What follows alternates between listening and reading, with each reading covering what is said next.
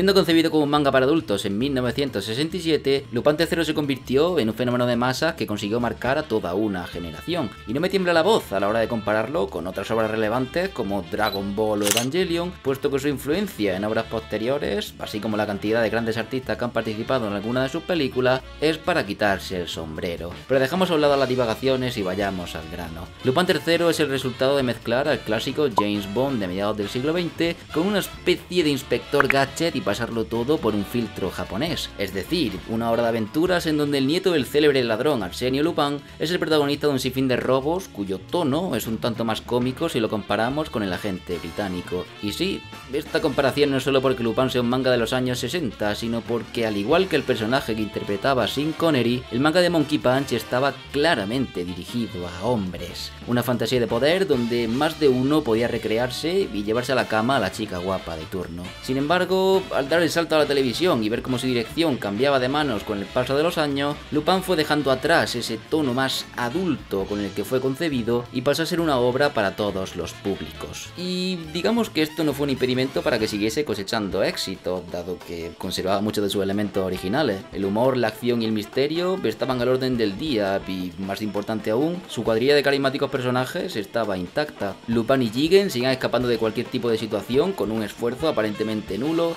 Goemon y su inquebrantable katana, capaz de cortar cualquier material, continuaban bajo la disciplinada senda del samurái. Y por supuesto, la protagonista de este vídeo también estaba presente.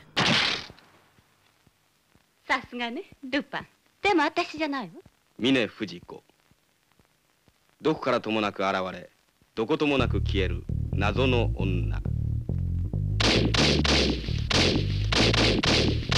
Fujiko Mine es el nombre que recibe el cuarto miembro de la banda de Lupin y que como bien indica el episodio piloto que se lanzó en 1969 en vistas de hacer una serie de animación, es una mujer misteriosa y con carácter. Y sí, tampoco hay que ser un puto genio para darse cuenta de que todo esto era un poquito machista. Solo hay que ver cómo presentaban su ropa como si fuese la nueva Barbie Otaku, capaz de lograr tus sueños con un pequeño toque en la entrepierna, bajo el eslogan de decora toda escena a gusto de cualquiera. Esos fondos de actrices desnudas son dignos del taller donde Nioisin cambia el aceite a su moto, y el mostrar sus tetas de una forma completamente gratuita antes de ser asaltada sexualmente por el propio Lupin, pues... digamos que tampoco ayuda. El rol con el que fue concebida Fujiko Mine fue el de ser una chica Bond de las antiguas, un trozo de carne al que contemplar o la princesa a la que el protagonista tenía que rescatar en alguna que otra ocasión. Y sé que algunos pueden no estar de acuerdo con gran parte de lo que diga en este vídeo, porque Fujiko es una mujer que a pesar de mostrar sus pechos en numerosas ocasiones, es fuerte e independiente, pero si a estas alturas de la película seguís pensando que el machismo o feminismo solo depende de mostrar tetas en pantalla, pues... Simplemente os invito a que busquéis más información. Solo hace falta ver el primer episodio del anime original de 1971 para darse cuenta de que, joder, aquí hay algo que realmente no funciona. Lupin, ¿has venido a matar a una traidora? No, las mujeres traicionáis con la misma facilidad con las que os ponéis joyas. Y si lo tienes siempre presente, no puedes amar a ninguna mujer. Fujiko ve al calamelito de algunos hombres de finales de los 60 y principios de los 70. Y sí, entiendo que eran otros tiempos y que el feminismo hoy en día va calado lo suficiente en mucha gente como para que veamos este tipo de prácticas como algo detestable. ¿Cuál es el problema entonces? Pues que Fujiko sigue siendo una puta gominola de Haribo. Este corto ha salido este año y a pesar de ser bastante entretenido y tener una animación espectacular, el único papel que interpreta Fujiko es el de trincarse un bong como si fuese una pedazo de polla. Y no me malinterpretéis, esta ova sigue siendo buena y probablemente gran parte de las películas y temporadas de Lupin sean también disfrutables a pesar de tener esta mierda, pero en serio, ¿es necesario esto a día de hoy? Tampoco es que haga falta que lleguen a los niveles de Utena, pero simplemente Evita esta puta mierda. Pero no. Este vídeo, por suerte, no van a ser 20 minutos echando mierda sobre Monkey Punch o si odia o no a las mujeres. Este vídeo trata sobre cómo esta obra, cuyo imperio se ha ido formando desde hace 50 años, cayó en manos de una mujer que consiguió hacer frente a toda esta situación tan ridícula, dándole a la ladrona más sexy de toda la animación japonesa el lugar que realmente se merece. Bienvenidos a la obra más desconocida de la creadora de Yuri on Ice y Michiko Tohachin.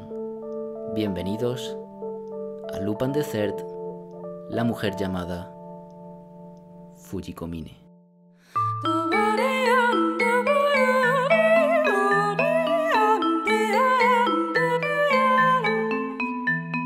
Tras terminar la producción de Michiko to Hatching y lanzar a la basura un proyecto de Magical Girls en el que estaba trabajando, Sayo Yamamoto recibió una llamada del CEO de Telecom Animation Film en la que le propusieron una nueva oferta de trabajo.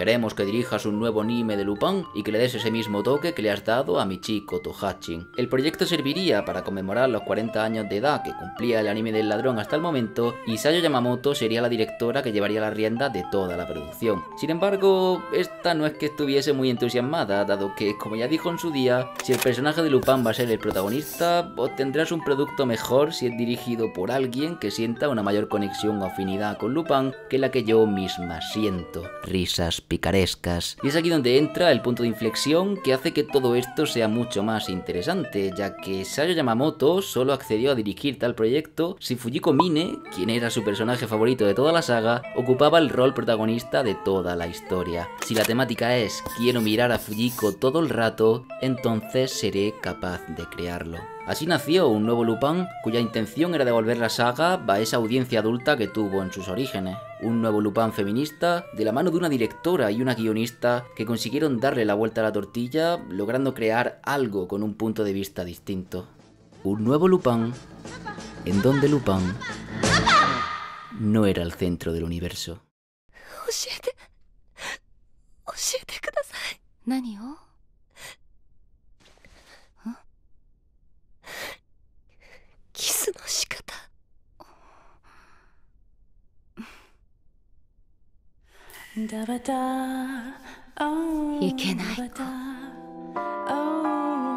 Atención pasajeros, por favor, entramos en terreno peligroso.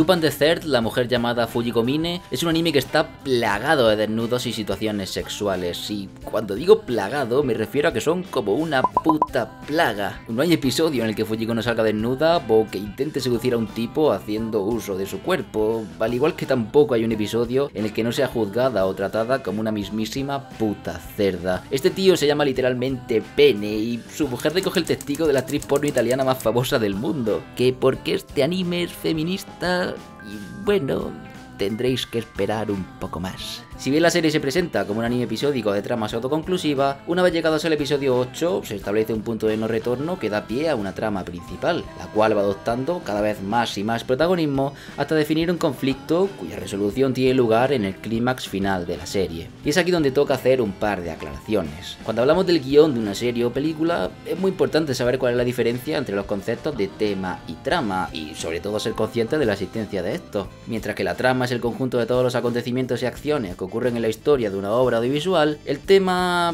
tiene más que ver con el mensaje que ésta intenta transmitir. Es ese concepto en torno al cual gira la obra o ese pensamiento sobre el que quiere que reflexionemos y que hace que la trama se desarrolle hacia una u otra dirección. Por poner un ejemplo cercano, si hablamos de la trama de Devilman Crybaby, diríamos que trata sobre un estudiante que ve cómo su humanidad se pone en jaque al ser poseído por un demonio. Pero si tuviésemos que hablar de su temática en sí, la cosa cambiaría y pasaría a ser una obra que habla sobre la condición del ser humano, la moralidad y los valores de la sociedad del siglo XXI, o incluso tendría cavidad el hablar sobre la aceptación personal, el racismo, la sexualidad, la cultura de la ultraviolencia o el increíble tamaño que maneja el paquete de Akira. Devilman Crybaby hace uso de una premisa cuya puesta en escena es de lo más salvaje para hablar del lado más animal y emocional del ser humano. ¿Y qué tiene que ver todo esto con Fujiko Mine? Pues que a pesar de que su premisa cambia al llegar al episodio 8, dejando atrás su faceta episódica por un conflicto de mayor magnitud, su temática está presente durante todo el anime, dado que la introduce de forma sutil a lo largo de los capítulos autoconclusivos y termina restregándonosla por la cara en su tramo final, dando lugar a uno de los mayores troleos que he tenido el gusto de presenciar en una serie de animación japonesa. Y sí, el pilar principal de la temática de Lupin de ser la mujer llamada Fujiko Mine es simple y sencillamente el feminismo.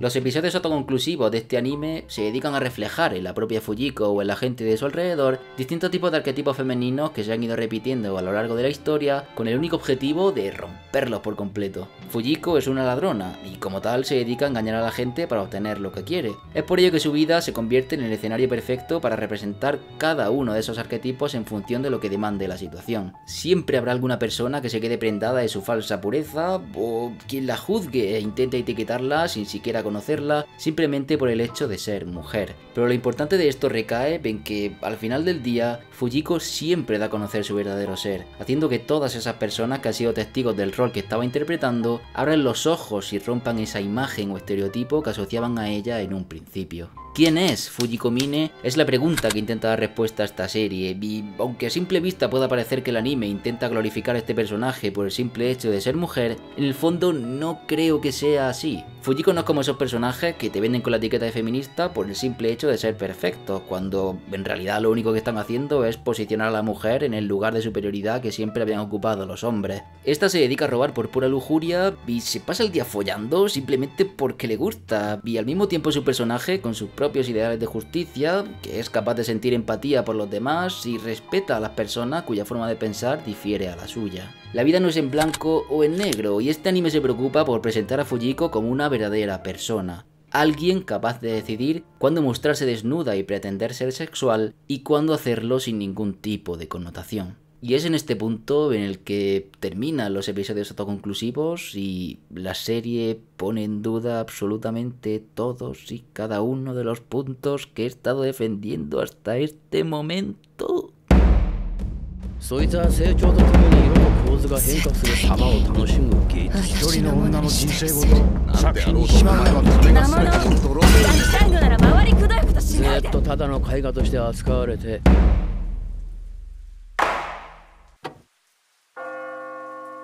どうやら命日に間に合ったみたいよ Uh, ¿Cómo me flipa esta serie? ¡Joder!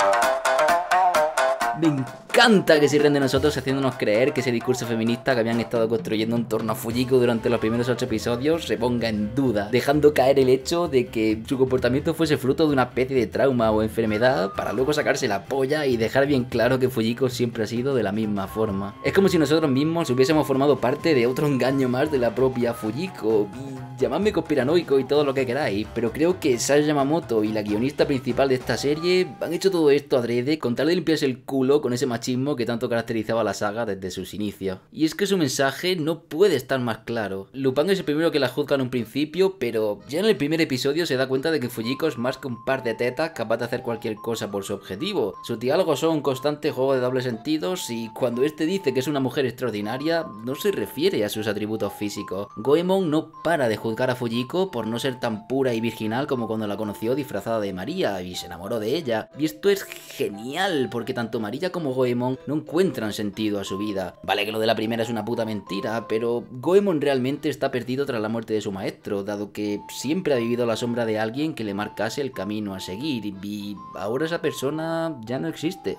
No sabe qué hacer con su vida y es por ello que para Goemon existen dos tipos de Fujiko. María, que es la visión pura y melancólica de la que se enamoró, y por otro lado su girlfriend, quien es la verdadera Fujiko. Una persona sin ataduras que no depende de los demás y disfruta de su libertad. libertad.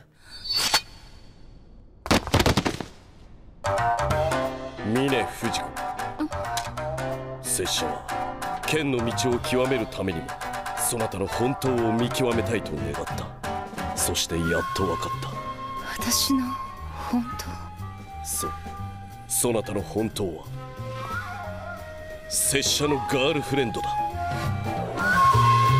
podría estar hablando durante horas sobre el paralelismo que se establece entre Fujiko y la joya del pavo real a la hora de hablar de la libertad y el empoderamiento femenino, las reflexiones del poeta, novelista, dramaturgo y científico alemán Goethe del episodio 6 sobre la condición de las mujeres, o el maravilloso episodio de la mujer obra de arte cuyo trasfondo grita que te follen a todo ese tratamiento machista que ha tenido el personaje de Fujiko a lo largo de tantos años. ¿Quién es Fujiko Mine? Todas esas personas son Fujikomin en cierta manera, porque tanto los hombres como las mujeres no son entes cuadriculados que se definen a sí mismos de una forma limitada, son personas capaces de reaccionar a una misma situación de una forma completamente distinta independientemente de su género, y Sayo Yamamoto se ha encargado de reescribir por completo la historia, poniendo a las chicas de teta grande de Monkey Punch como centro y nacimiento de todas las relaciones de los personajes principales de la saga, dándole así la dimensión que realmente se merece. Todo el mundo en este anime termina por saber que Fujiko es algo más que la princesa a la que rescatar o la paja de turno. Y eso, queridos amigos y amigas, es algo de lo que no muchas obras de Lupin III pueden llegar a presumir. Pero no. Por mucho que pueda parecer que este anime es una obra maestra y que por algún extraño motivo nadie la ha visto, la realidad es que no siempre consigue dar la talla en todo lo que se propone. Su diseño artístico y ambientación me sigue sorprendiendo a pesar de haber visto la serie como unas tres veces. La banda sonora tampoco se queda atrás y creo que no hace falta que me posicione en cuanto a cómo trata su temática a lo largo de toda la serie. El staff de Lupin the Third, la mujer llamada Fujikomine, es un staff con pedigree y a pesar de que me faltan palabras para hablar de lo mucho que me ha gustado el tratamiento que le han dado a su personaje protagonista, creo que también es necesario echar la vista atrás y agarrar esa asignatura que nos ha quedado pendiente. Porque el principal fallo que ha cometido Sayo Yamamoto es que ha conseguido crear un nuevo Lupin, sí, pero al mismo tiempo no es capaz de desprenderse de algunas malas prácticas que ya existían antes. Seguramente muchos de vosotros os habréis partido el culo al ver a Mario Kada hace apenas unos minutos, pero en serio, realmente me ha sorprendido el trabajo que ha hecho en esta obra. El problema es que no puedo decir lo mismo del resto de guionistas de los episodios autoconclusivos, dado que parte de estos no consiguen estar a la altura. Ya no solo que traten situaciones cliché de los años 60 o 70, como la crisis de los misiles de Cuba, el fantasma de la ópera o el tren siendo asaltado por bandidos, lo cual podría llegar a entender dado que la serie se desarrolla en esa época, pero ves que el desarrollo de los acontecimientos es demasiado conveniente. Gran parte de los conflictos se solucionan gracias a que Lupin se saca de la manga un invento completamente inesperado o porque Fujiko termina seduciendo al guardia de turno. Y sé que las cosas se pueden hacer mejor. El propio Miyazaki escribió y dirigió una película de Lupin en el 79 y solucionó este problema al mostrar cómo los personajes eran conscientes del conflicto que se les presentaba. Éramos testigos de cómo Lupin recibía cierta información y en base a eso creaba un objeto que le permitiese seguir adelante. Un disfraz de cerigata, un gancho, un explosivo. Había un lapso de tiempo que justificaba una acción algo más disparatada, pero en el anime de Sayo Yamamoto, Lupin recibe un disparo y... anda, pero si llevaba una máquina que escupe ketchup debajo de la chaqueta... Mm, qué coincidencia. Y no sé hasta qué punto se puede justificar el hecho de que Fujiko se muestre desnuda en ciertas situaciones lo suficientemente necesarias como para que esté escribiendo estas líneas. Y más si tenemos en cuenta el hecho de que Sayo Yamamoto solo veía la serie en su infancia por las escenas sexys de Fujiko. Hay gente como Bray Kaiser que defiende que esto no es más que una parodia de las propias raíces de la saga y que si bien en un principio estos desnudos son ridículos a propósito, con el paso del tiempo van cambiando su naturaleza y el simple hecho de que veamos a Fujiko durmiendo desnuda o disfrutando de un baño es simplemente porque como mujer tiene el poder de hacerlo sin tener que existir una connotación sexual de por medio. La mujer llamada Fujiko Mine es un anime que habla sobre feminismo y recoge la estética y ambientación del cine negro de mediados del siglo XX para dar lugar a algo completamente ajeno a lo que los fans del ladrón están acostumbrados. Pero al mismo tiempo, el ladrón sigue estando presente, y es por ello que el entretenimiento y el no tomarse las cosas muy en serio siempre va a ser algo que siga estando latente. Lupin the Third es un anime necesario, y tanto Sayo Yamamoto como Mario Kada pueden estar orgullosos del trabajo que han hecho, porque a pesar de no ser un producto perfecto que ha dado lugar a varios malentendidos, en el fondo, tras 50 largos años, han conseguido que Fujiko finalmente ocupe el lugar que se merece.